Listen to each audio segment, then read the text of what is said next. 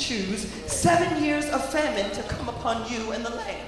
He says, secondly, you can choose three months of your enemies coming constantly against you and getting the victory. He says, or you can choose three days with a plague in the land and God being in control.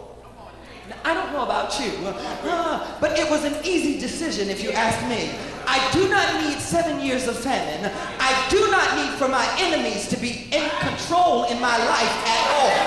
Because God help me if they ever get any amount of control in my life. He's, David says, now I don't know what I'm going to have to go through in those three days. He says, but God, give me three days of your terror as opposed to three months of my enemies being in charge. And somebody needs to be thankful that even in your mess ups, God will still give you some options.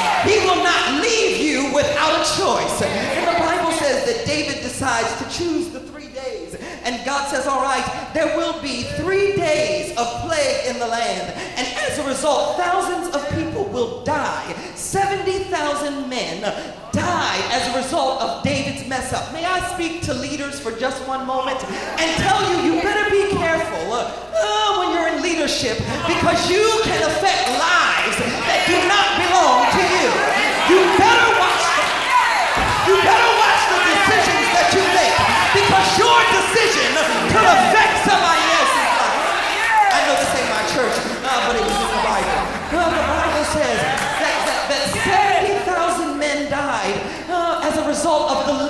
mistake because the leader did not use wise judgment. That there were 70,000 people who were following him that died.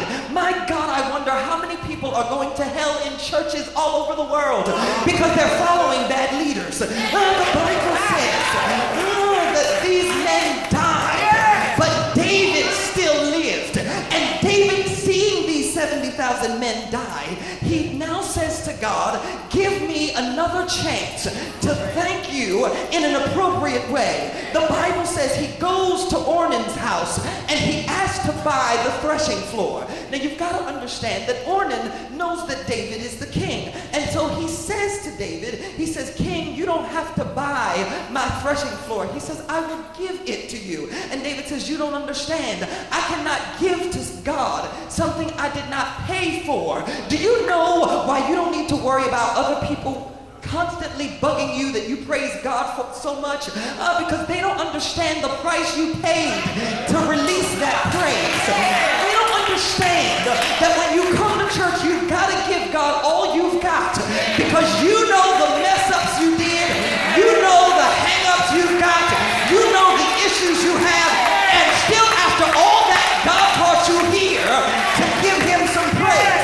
So as I transgress now to Psalm 30, David says, God, you did not let my soul, uh, my foes be victorious over me. He says, I cried out to you and you healed me. Somebody needs to be thankful on this morning that even when you were crying after messed up, that God did not turn away, but he still heard your voice.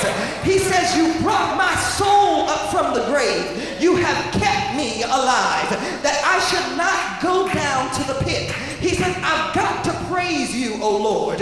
He says, I've got to let the saints know to praise you and give thanks at the remembrance of his holy name. This is why I've got to thank God. He says, for his anger is but for a moment.